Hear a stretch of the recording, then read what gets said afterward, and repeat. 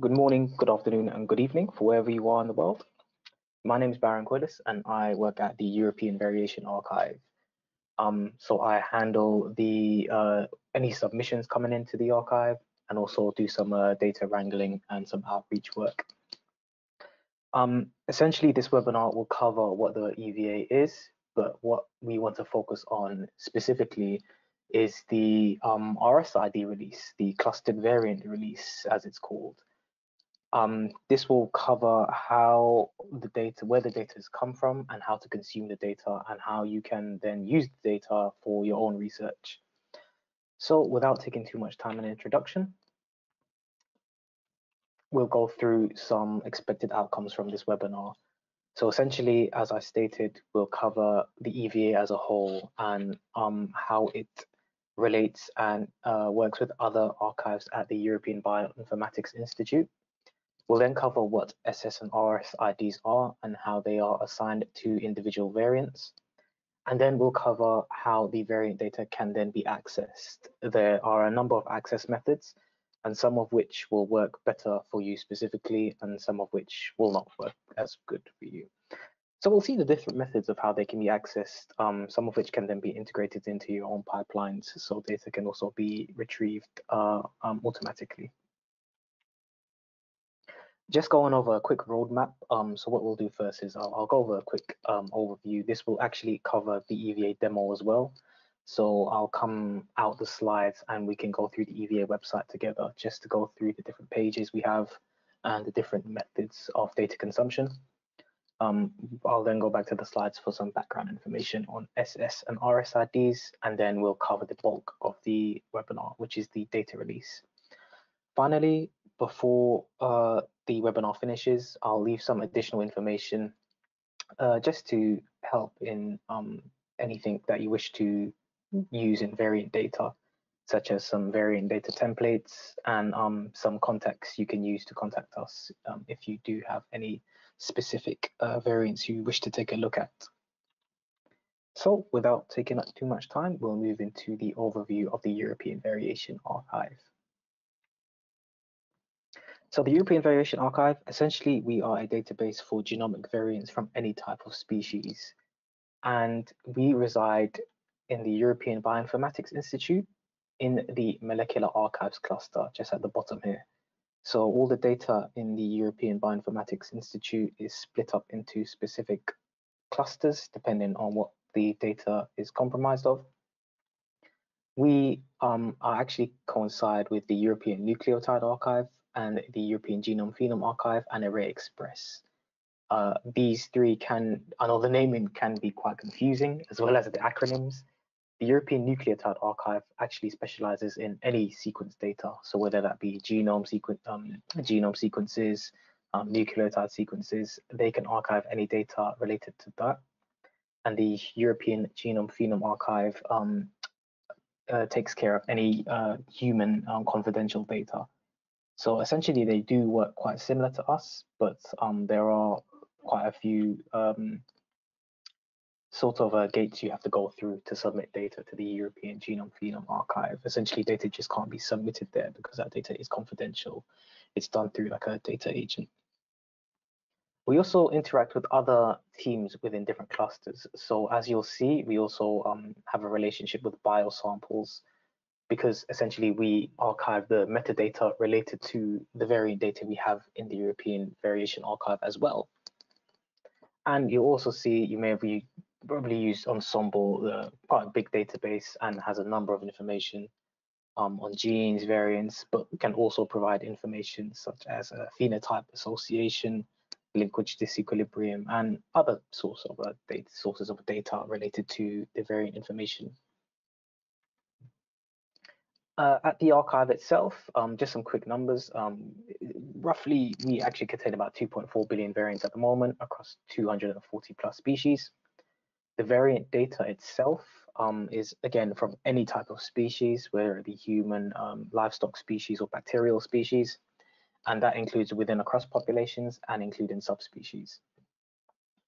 The metadata associated with the variant data is also contained, and this is uh, provided alongside uh, the variant data itself. So as you'll see as we go through the demo, not only can you consume the variant data, but we also detail where the data came from and the pipeline used to generate the variant data. Lastly, any variant data submitted to us, we also run Ensembl's variant effect predictor to uh, provide some annotation to the variants. So then this does give effects on gene, genes and transcripts, the functional consequence, um, to be specific, the most uh, severe functional consequence, and we also calculate population frequencies for each submission.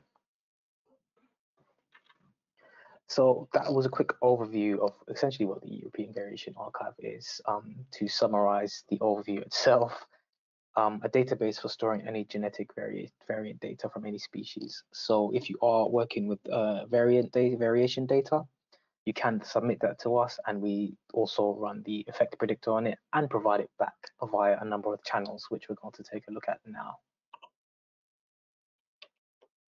So moving on to the actual website. So when you do visit the European Variation Archive, you can follow it through the European Bioinformatics Institute or simply just search uh, EBI EVA. That's usually my preferred way of finding our website, but it is provided by EBI website. This is the homepage, which displays some general information, uh, sort of like a, I'd like to say generic information based on uh, some general information on what we have and some any feedback you want to leave.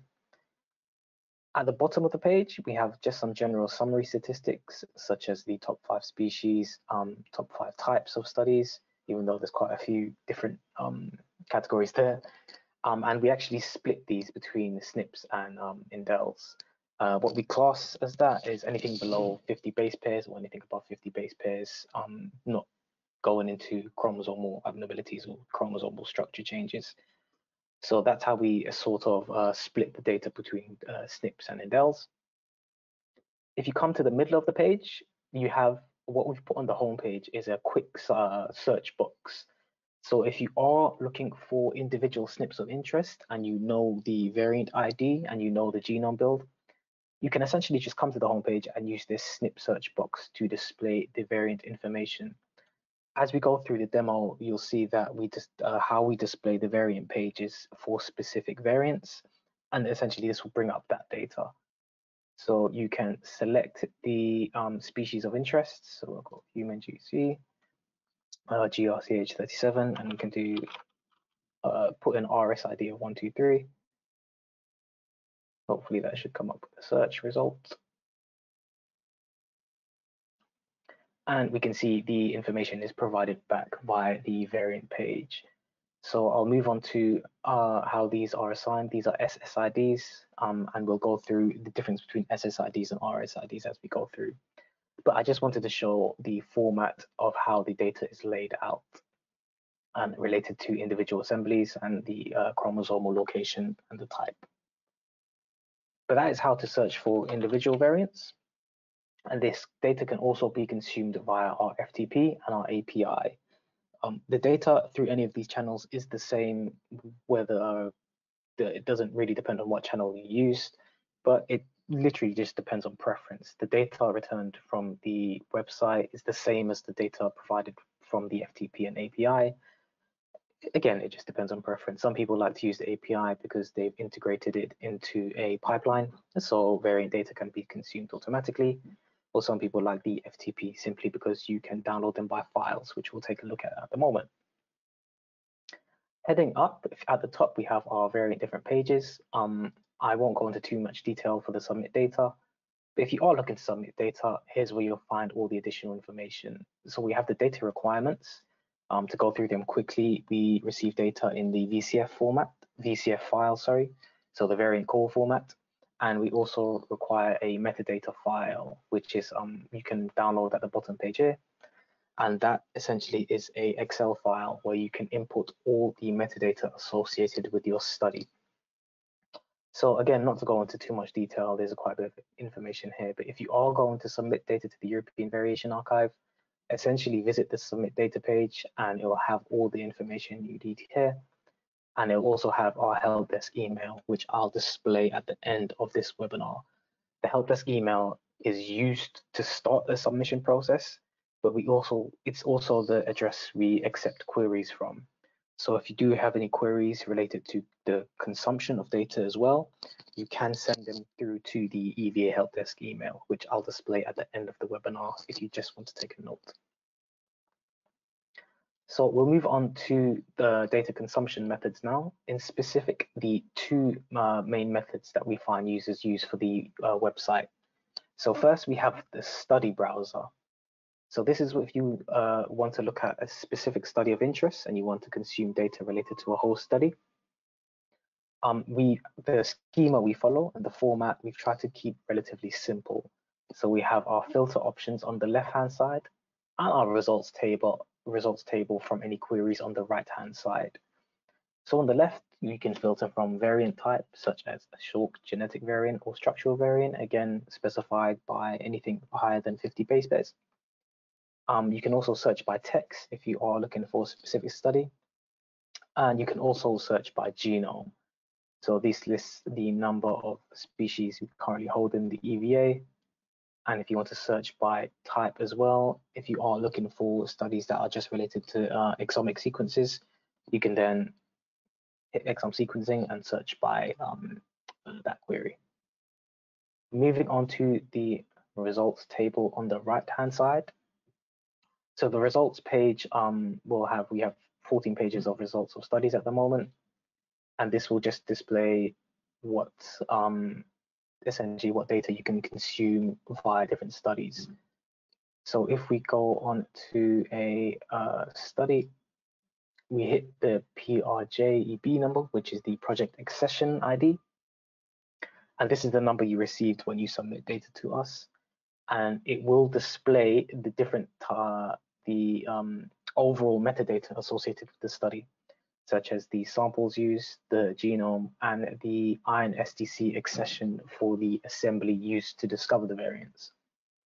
Also have the platform used for from the sequencing pipeline, which generated the uh, data, and a short description provided by the original submitter, just about what the data is, what they found, what the sort of information is related to the uh, variant data.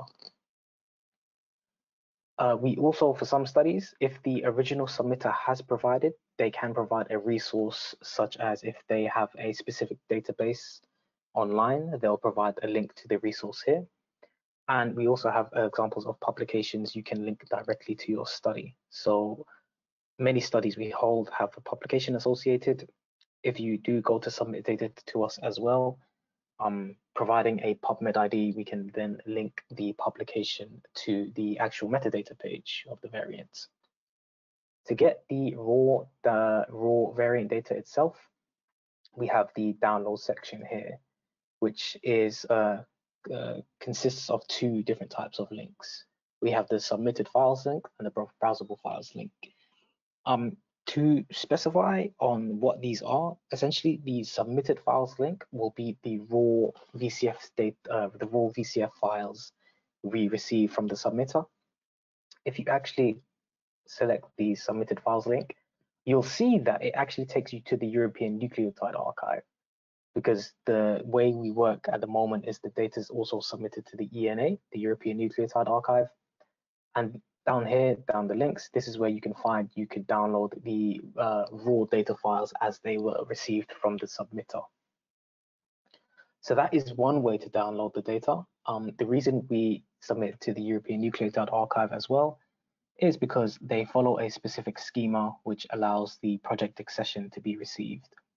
The project accession, again, being the PRJEB ID number, and this is what you'll essentially receive once you've submitted data to us. It seems to be, um, or what uh, submitters generally uh, receive once they submit data, as they need to provide this along with their manuscript to journals for publication.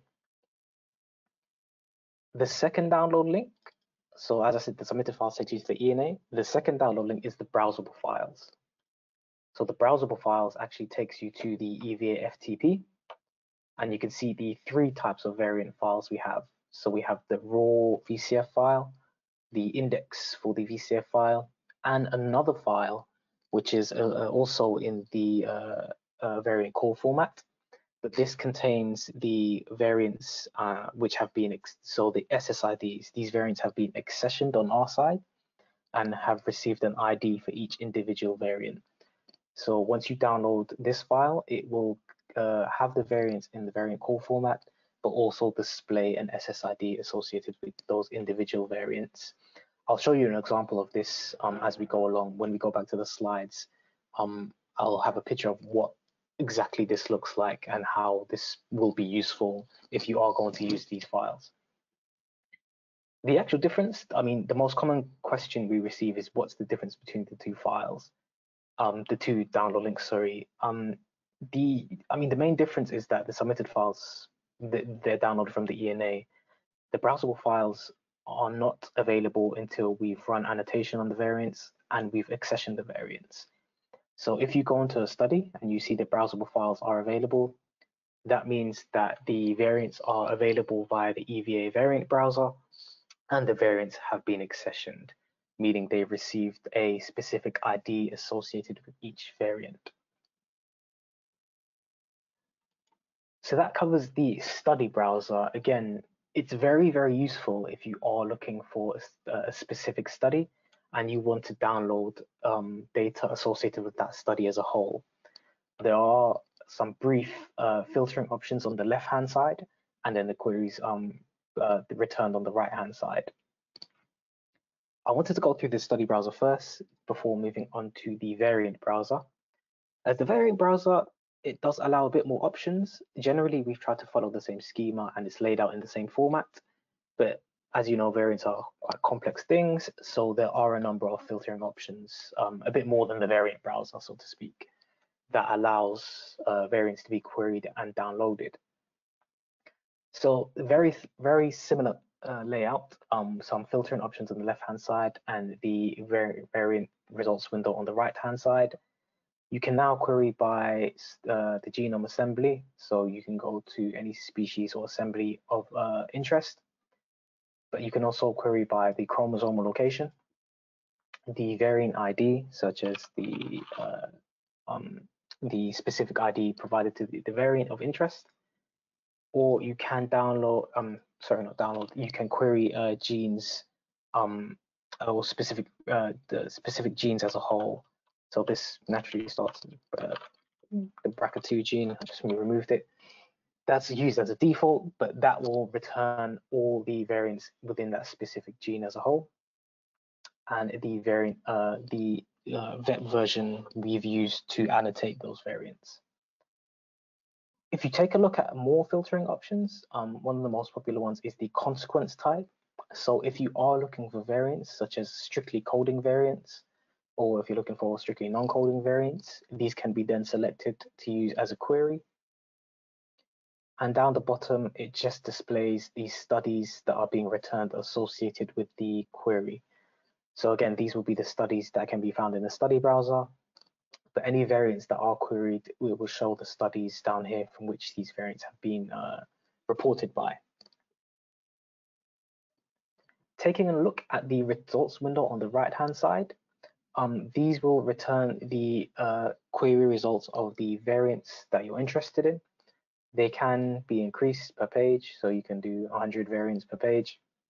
And it will have things such as the chromosomal position, the variant ID. Again, if it's been assigned, the variant ID will be found here. Um, the reference and alternative alleles, the class of SNP, and the most severe consequence type provided by um, the Ensembl's variant effect predictor. Some variants also, um, the variant effect predictor also provides the polyphen and SIFT scores, um, sort of quantifying the effect, the detrimental effect on the protein produced from um, the variant, and some additional information regarding um, uh, the, how this, sorry, I just you have to look, just um, the individual pages of data that can be consumed. So if we hit the uh, EVA logo, This will take you to the variant page on the EVA website, displaying um, some additional information of the variant, such as the assembly and where the information comes from. Heading further down, well, the consequence type is the intergenic variant at the moment, and also the sequence ontology. Heading further down, um, this will take a look at the files. So what file actually reported this variant and the study this variant was reported by. Also the genotypes per study. So this is split. So this is one study that's reporting this variant and the genotypes provided. And also the population statistics reported by the study for the variant as well.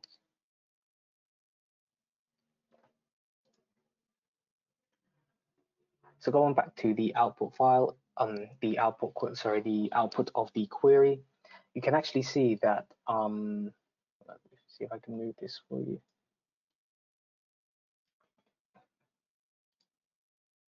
So I'll just bring up an example of a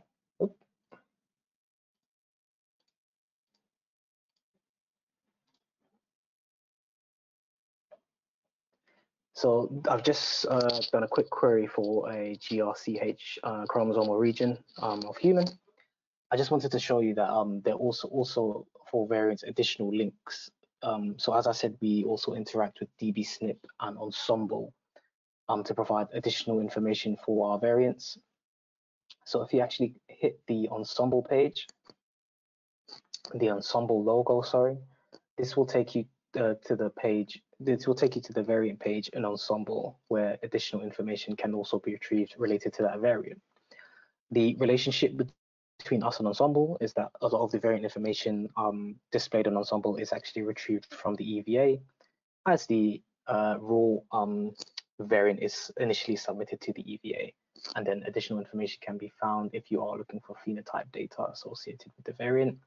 That can then be retrieved from the Ensembl website if you are looking for that. And if you also hit the dbSNP link,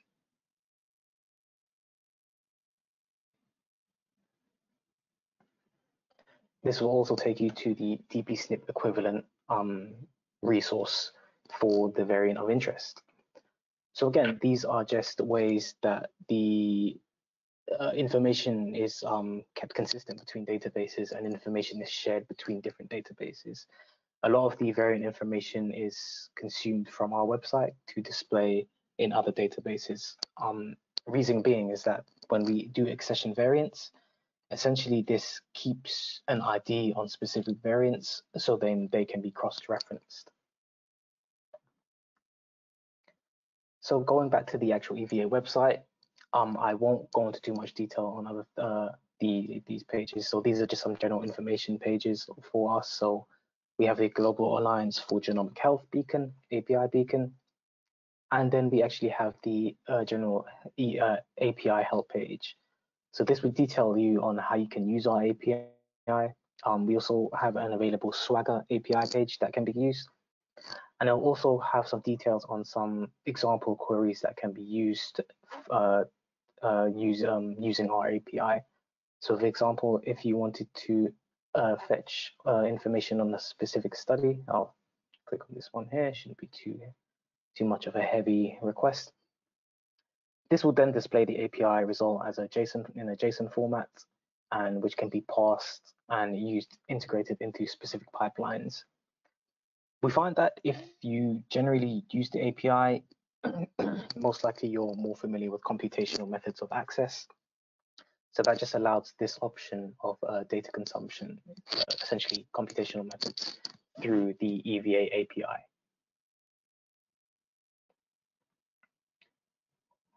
Um, I'll go onto our release page in a moment, but I wanted to just go onto our help page. Um, I know it's not usually something that will be covered, but again, it just has some general help information on variants. But if you go onto the submission header,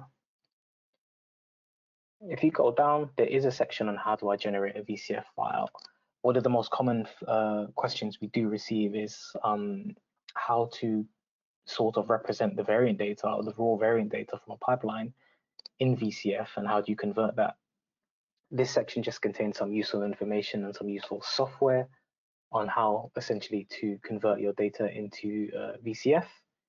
But it also has a VCF template file so if I just open that up. So this is a short VCF template file, which contains um, some examples.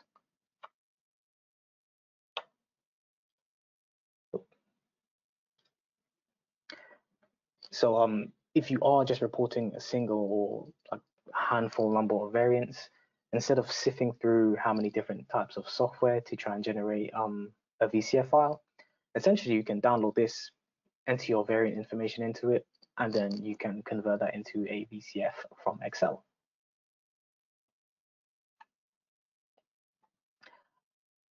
So just going back onto the website, I wanted to cover the RS release.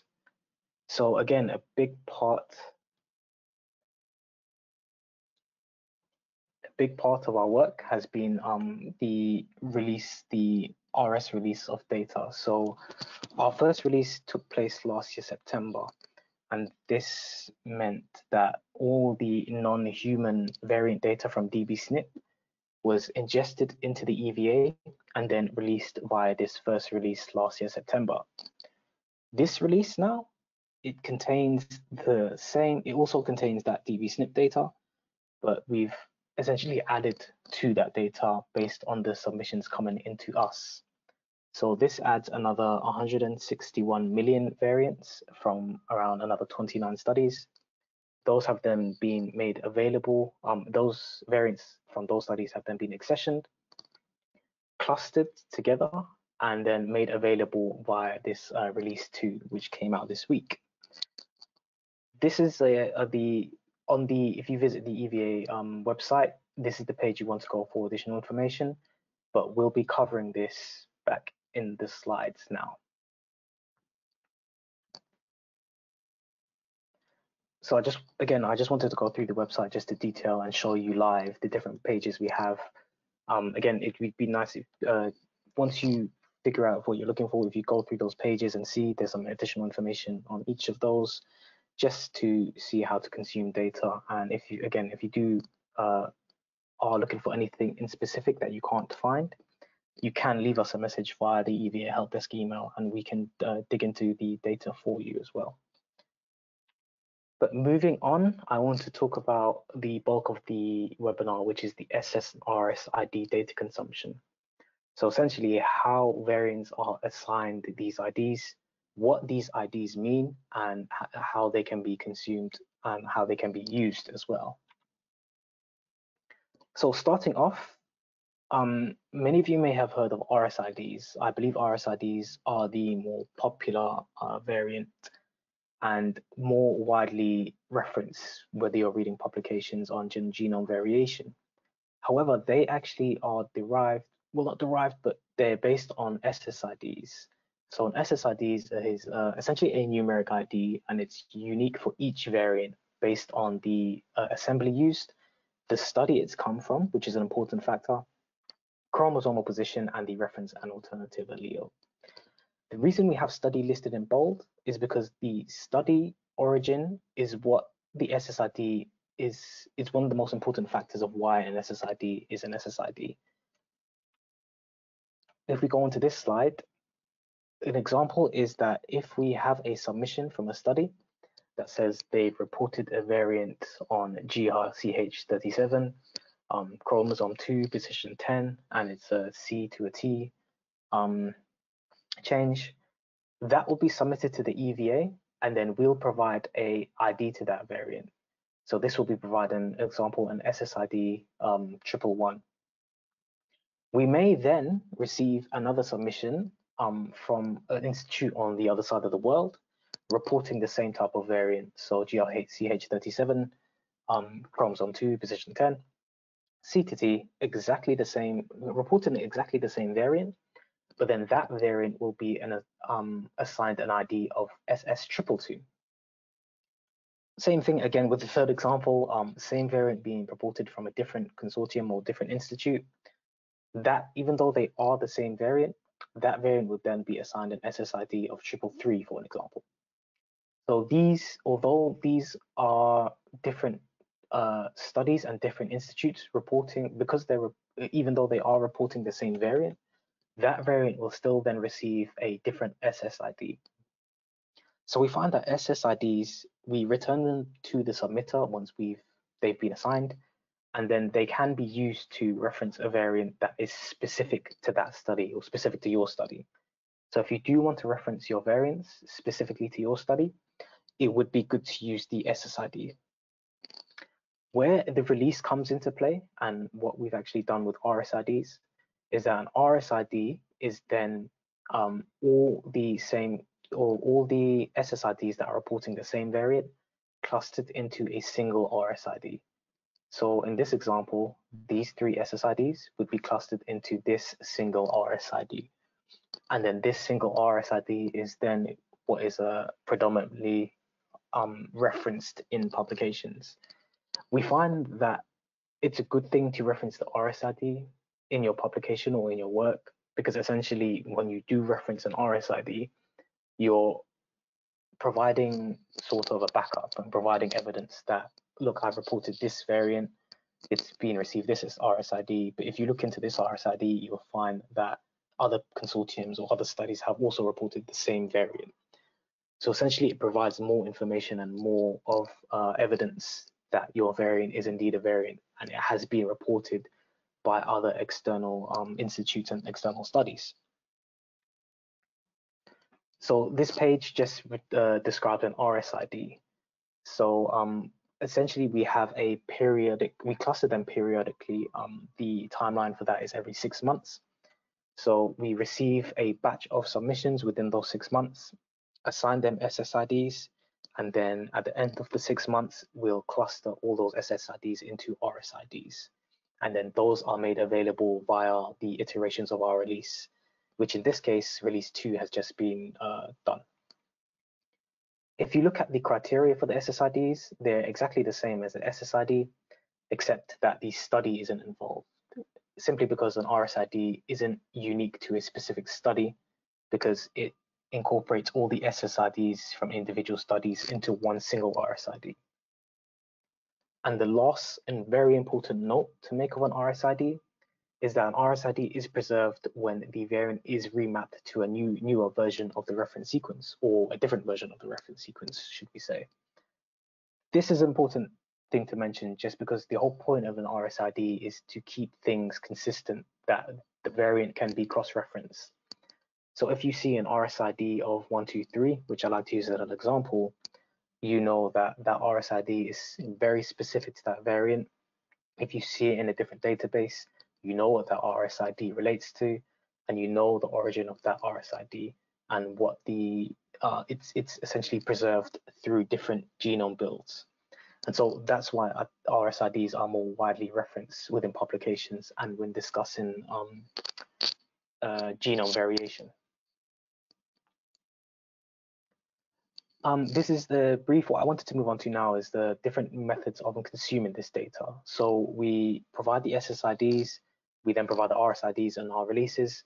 But then how is this data displayed? How is it consumed? And how can you use it? Well, many of you may be familiar with the example. This is a VCF file example. Um, this big chunk at the top with all looks quite complicated is the metadata information. So these are the metadata lines, and then you can see the variant lines at the bottom. So you can actually see that this variant relates to on this line is chromosome 20, position 14370. And you can see the RSID here. So this, you know that this variant is relating to RSID. This, this is the um, ID that this variant's been assigned. And then the metadata information lines on the right-hand side. So we know that AF is equaling 0.5. If we then take a look at the information lines, which is what these provide, we look at AF, we know that AF, the description of AF is allele frequency. So we then know that AF for this, allele frequency for this um, variant is uh, 0.5, um, because half. Sort of same thing with the format, except the format can be used for individual samples. So we have the format field and then sample one, sample two, and sample three.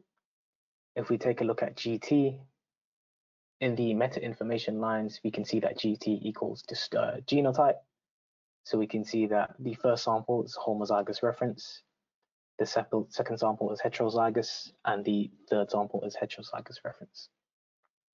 Um, this is provided by this genotype coding and nomenclature. So zero zero, so zero meaning the reference allele, which in this case is G, and one relating to the alternative allele, which in this case is A. I think this is better taken a look at in the um, in, in the third variant actually, because the third variant has two different types of reference allele. Oh, sorry, alternative allele. So in this case, for the first sample, we can see that um, uh, uh, this allele, uh, this would, that, that would be G, and the number two would relate to the second type of alternative allele, which would be T, whereas zero would be the reference allele, which is A. But again, um, the VCF format is uh, essentially the bread and butter we work with, um, how data is received, how we receive data, as well as how we return data. And it seems to be the the output, the final output of many bioinformatic pipelines of how to represent variant data, essentially attempting to keep things consistent within the bioinformatics community. So the reason I mentioned VCF files is because, again, that's how we receive them. So this is an example of a simple VCF file with the line and the variants received. And how do we return the accessioned VCF file? So again, once we receive the variant data, we then provide the SSIDs and they're provided, uh, they're returned in VCF files or the EVA website. And as you can see, the ID column, which was left blank in the initial submission, now has SSIDs assigned to these individual variants here. So you'll find that you'll receive, essentially you'll receive the same VCF file you submitted to us, but it will now contain SSIDs you can use to reference the individual variants. So going on to the bulk of release two, what it, uh, the different file types it has and what it actually means. So for release two, this brings our total up to 218 um, species um, across uh, 907 million clustered variants, comprising over 907 million clustered variants. This, this, is the total from release one and release two. Um, release two added another 161 million variants uh, across another 20 additional 29 species. But for our release channel, this will be the bulk of variants that are included in the releases. Um, for the next iteration of releases, again, I wanted to sort of uh, clarify that we don't remove data from the, the, next iteration of releases. Essentially, the data is built upon. So release two added data to an already existing release, which was release one from last year, and added more data to that release. And that's how it will work going forward. We'll, as we receive submission data, we'll add accession those and add this data on top of um, the data included in the previous release.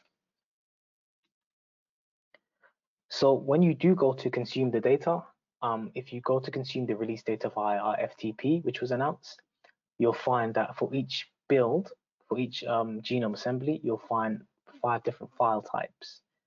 So I'll go through them individually but the main file type I wanted to concentrate on is the current IDs, which is the one essentially you'll be working with and the one that will most likely contain your variant of interest. So the current IDs, they contain the active variants that satisfy the EVA submission requirements. That means that we were able to map these variants to an INSDC registered assembly, meaning a genome assembly, a genome sequence even, that is resides in NCBI, ENA, or the DNA Data Bank of Japan.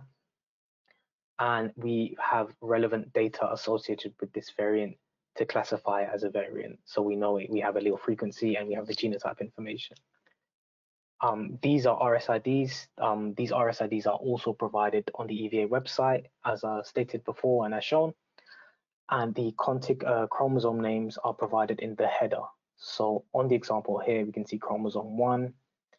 Um, I've cut it off here, but in the header lines, it simply displays what chromosome one relates to and what its INSDC accession is. So for this example, we know that this is a dog genome. We know that chromosome 35 was assigned an accession of this from NCBI. And also the link to the original study is also provided in the VCF We'll take a look at this on the next slide. But essentially, this shows that um, in the information section, you'll see that the the title of the study, which uh, which uh, are reporting these are the, these variants, is also provided in the VCF file. So essentially, when you download this VCF file for release two, you'll receive the chromosomal position of the variants, the ID, the reference and alternative allele, but you'll also receive the information of where these variants originated from. So an example can be seen here. So in the metadata lines I was talking about, so this will be the top of the VCF, which is where you can provide more information. We can see that the info SID and the description of that relates to the identifier of the study that reported the variant. This is to the right of the variant line. You can see that SSID from here equals the uh, Broad um, uh, Institute, um, sorry, a canine study from the Broad Institute. And this is where essentially that variant was um, reported from. That's where that variant was reported from. So it just provides um, some metadata that you can see within the VCF file. So once you download the VCF file, you can use that straight away to sort of gather information on the variant and see what information is also associated with the variant directly. So the merge current IDs files, these are the ones, just to summarize what these files, this file is. These are the ones that will most likely be used because these are the current RSIDs. These are the ones we have enough evidence for to say, look, this is a variant. We've received external information such as uh, different studies um, reporting this variant. So we've clustered it into a single RSID. And these will be the ones that are used in the community. So these will be the RSIDs you'll see referenced in publications and being used um, uh, cross-referenced between publications or uh, different databases. Moving on to the second um, the second file that will be available. So this will be the multi-mapped IDs. So these will be RSIDs that were actually previously assigned by DBSNP. Um, before we started accessioning in 2017, um, this was DBSNP's responsibility. So we still contain some legacy data that has been assigned from DBSNP, simply because some studies are still using or referencing this, and it will be we still wanted to make this data regularly available. So they are still valid, uh, valid RSIDs, but we couldn't precisely locate where they were. And the so what we've done is the VCF it file in the information lines, it contains all the possible locations that this RSID could be referring to. Again, we have feedback that these files they're not very they're not as widely used as the current IDs, current IDs, which for obvious reasons will be more widely used. But mainly, if someone is going over a legacy study, we'll find that they may find an RSID within one of these files. Same thing with the third set of files. So these will be titled merged IDs. So these are RSIDs. Um, essentially, they shouldn't be used, and they've been merged into another active RSID.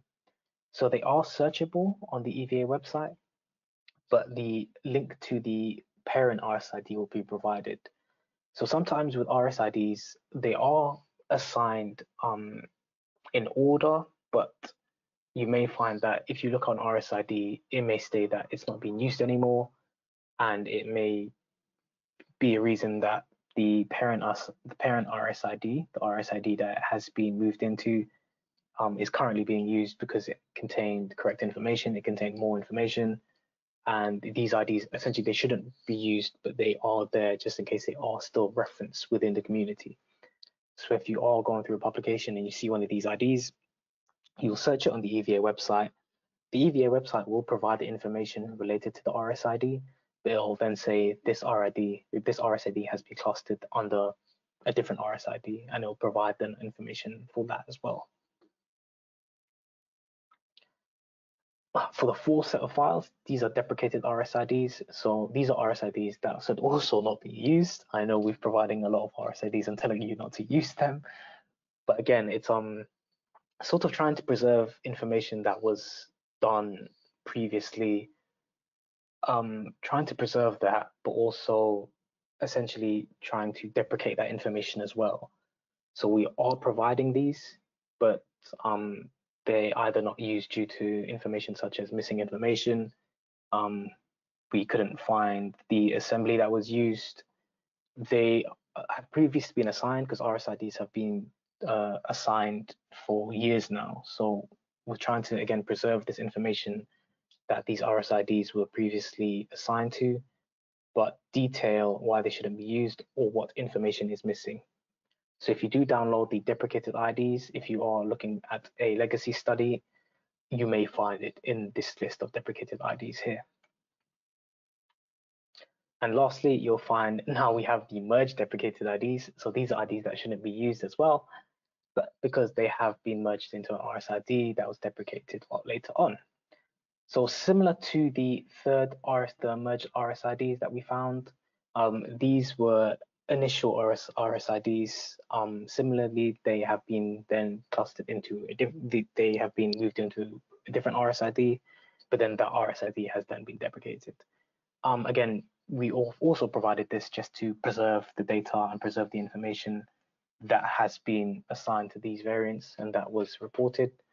But ideally, they shouldn't, they'll rarely be used only if um, we're looking for RSIDs that may have been lost somewhere down the years.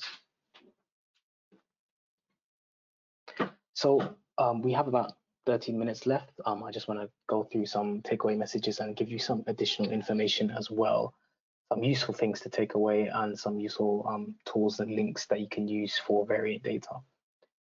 So just to cover everything, um, the EVA essentially provides it's a permanent archival store for accession and genetic variant variation data from any species. We receive the data in VCF and the associated metadata file. Um, the submission process is started by contacting the help desk. We then archive the information provide an ID for you to use in your publication, but also accession the individual variants themselves. And then we provide this information back um, to the submitter directly, but also via our different channels, such as the EVA um, user interface, um, RFTP and API.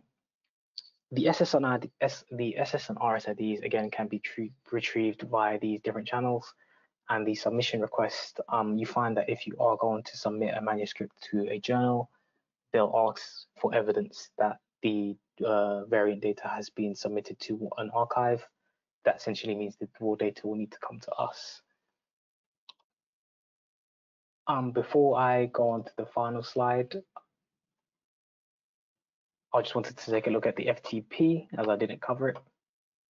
So this is the FTP. Um, if you go into our uh, FTP, you'll see that we have the data from release one and release two. Again, the data is preserved through releases. Uh, we just add data on top of that.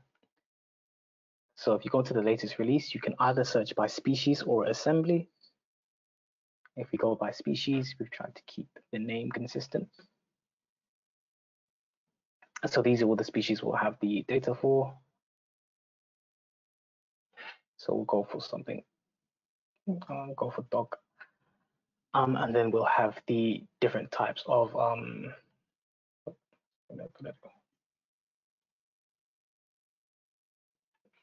and then we'll have the different types of files to be able to download. So if we go into this genome build, um, as seen in the examples, we have the current SIDs, the index file, and the different types of files. If you do need additional information on specific builds and what the files mean, um, there's also these README files that you can then download and read through, which will then, um, again, go over the information I covered in the webinar in related to each individual file. But this is the uh, release 2 FTP information that was uh, recently done. Um, I'll have the date on the side is actually only done quite recently, but so again, um, as we come out with new and new, more and more releases, they'll be available via the FTP channels, and you can essentially find them at this website here um, during the FTP there.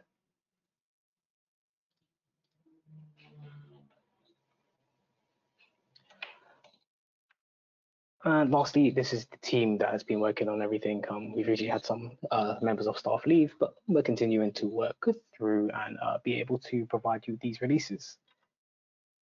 Uh, just for the last page, um, I'll go onto the last page of the webinar in a moment, but um, these are some useful information. Um, so this is actually the validation suite we've developed. So apart from the EVA website, there's also this validation suite. Um, it's the same tools we use to validate uh, VCFs that come into the website.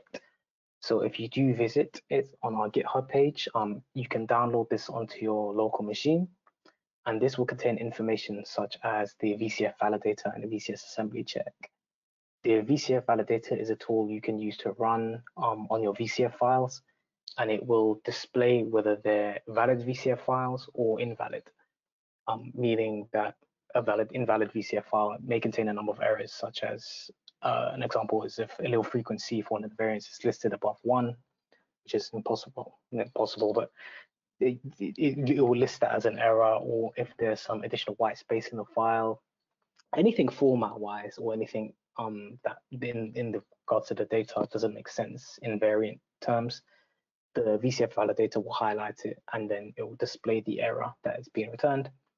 But then it also contains the assembly check, which is essentially it checks all the reference reference alleles in the VCF file and to ensure that the reference alleles in the VCF file match the reference alleles from the uh, uh, reference assembly, reference genome or sequence used. I went through, uh, I didn't go through too much of the help page, but our help page is, uh, it's very, very useful simply because it displays some useful software and tools used to create uh, VCF files, as well as the template file it contained, which is, I find it's more easier to use and more useful if you are just reporting a single variant or if you are just reporting one or two variants. Again, instead of going through how many different types of software to try to find something that can generate this, the you can just input the um the information directly into the template file and there's some instructions of how to save the file in in uh, into a uh, VCF file. So change the Excel data into uh, variant call format data. And lastly, um, our group is a contributor to the official VCF specification. Um, this makes sense as we receive VCF files and we also provide VCF files so we're also quite passionate about the VCF specification and keep ensuring that variant data representation of variant data is kept consistent, clear and concise. And this will just be the link to the VCF specification, which is updated uh, every couple of weeks or months or so. And it just provides details on the variant call format. Um, again, how you can represent things such as structural variants and uh, different tools, different types of variants within the actual VCF, uh, within the actual variant call format. Um, we know that variants are, they, they can be very, very complex, complex. So again, the specification tries to ensure that every different type, every different corner case of variant can be represented correctly within the variant call format.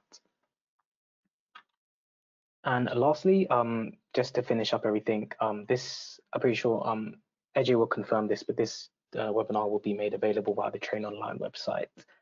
Um, so if you do need to have any questions, um, you can send them through to the EVA help desk. Again, this will be, it, it's used for submissions, but it's also our direct point of contact. So if you are looking for, if you are having trouble consuming data or uh, submitting data, or you wish to look for a specific variant of interest which you can't find, you can send this through to the EVA help desk and we can try to dig into this data for you and try and find any information that you need. And we're also welcoming feedback um, for this webinar as well as for the actual EVA releases. Essentially, when we make these releases, um, we have data in our backend, but we want to ensure that the way we provide this data is as clear and as useful as possible. So if you find that the data could be represented better or you think that uh, some files are not needed, please do provide us feedback, um, message us via the EVA help desk and we'll tried to incorporate uh, the feedback we receive into future releases. So not only is the data built upon, but the format and how we present the data will also be improved as well. And on that note, um, thank you for listening. It's it's it's always a pleasure to present data on VCF. Um, something that we do every day, and it's our bread and butter. So we're quite passionate about the VCF specification and the VCF variant call format. Um, again, thank you for listening, and I hope the information from the webinar as well as from the release provides useful to you in your own work and you find um, if you are looking for variants you find what you're looking for in abundance and again, last time, thank you for listening, and I'll pass it back over to our trainer. Right. Thank you. Thanks, Baron. Thank you very much. uh, for today's webinar, and I would like to thank all the attendees uh, who attended the webinar today. Uh, and now, um, so if you have uh, questions, please keep on typing them in the chat box. We already have three questions, uh, Baron, for you. Uh, I'll, I'll read it out. So we had one question from Sriram that can we submit bacterial genome variants data? Yeah, yeah. Um, this is actually something we're targeting in the coming months. Um, to specify, is from any species. So bacterial data is something we're eager to receive. We have some at the moment, but not as much as other species. So we're always always eager to retrieve this. The only thing is that we need to ensure that the reference genome assembly used or the reference sequence does reside in NCBI or the ENA. But yeah, we, we can receive that. Right. So we have uh, another question from David. For submission of variants, should all variants that are called be submitted and therefore include some false positives? And if so, are these annotated as low quality by EVA? Or should only high quality, high confidence variants be submitted and therefore potentially have false negatives? I would say in the past, what we've observed is that even if there are low quality variants, they have been still be included in the VCF file. Um, simply because when we run the annotation or when we do the population statistics, this will highlight them as low quality variants. So although they won't be omitted from any output files, they'll still be displayed as, well, the data be seen as unusual. And um, it just depends on uh, the, the whoever's using it or whoever's consuming it, if they find that they don't want to use it because it's a low quality variant, then I think um, that that will that will be their choice. But we do still um, provide this data. So and again, we encourage people to still include that within the uh, VCF files. All right. Uh, so we had one question from Catherine, and she believes you have answered it, but if you could confirm that, what do you mean by clustered variants? when you call clustered variants? No, sure. Yeah, it's uh, this is the one we always try to try to explain this as clear as possible, but it's very difficult. So the clustered variants are, um, again, once we receive different submissions, uh, different, uh, once we received variants from different submissions, uh, sometimes we receive submissions containing different variants, but sometimes those variants between different submissions are the same in that respect, the variants that are the same from different submissions, those are then clustered into a single RSID. So I think it's the individual variants receive the SSID, but then the SSIDs are clustered into a single RSID. So when we say clustered variant, essentially we're referring to an RSID. It's just preference between naming. It's something we've been trying to see in the community, which they prefer either saying the clustered variant or RSID. But yeah, it's, it's simply just an RSID. That's good. Uh, so another question from Catherine is, uh, if genomes have been submitted to NCBI sequence read archive with a bioproject accession, will the variants into EVA anyway, or should they be submitted separately? Oh, they they they'll they should be submitted to us. Um, although they are so even though the bio project is generated by NCBI, um, the variant data when it's submitted to us in the metadata file, you can specify the bio project ID that you've it, the it's been assigned, and we'll link the data from the E that you've submitted to the EVA to the bio project as well. So again, it should be submitted separately to us, the variant data, but um, there, there's fields there where you can link. If you've already been assigned a bio project or a bio study ID, we'll link the data to that ID instead. All right, thank you. So if, uh, oh, we have uh, another question coming in. I guess it's about the, the variant submission between prokaryotes, eukaryotes, and wild. I mean, in the met uh, in the submission methods, no, there, there, there won't be any difference. Um, I know that it's quite different studies, but if you take a look at the metadata, we um, there's not much difference in the way it's submitted. We all receive it through the same type of uh, files. All right. So if we have uh, no further questions, I would like to thank Baron again for today's webinar and uh, thank you all for listening.